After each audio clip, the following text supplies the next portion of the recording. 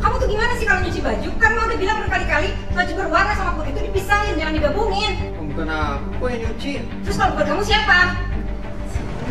Tuh kan bener? Emang sini mesin cuci kadang-kadang suka ngaco. Masa baju bisa ketutup sendiri? Udah gak apa-apa Syu. Mak juga emang harus udah ganti mesin cuci yang baru.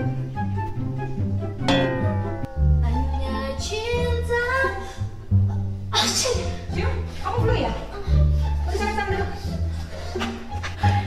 Syu, ini mak buatin udah kiai panas buat kamu ya.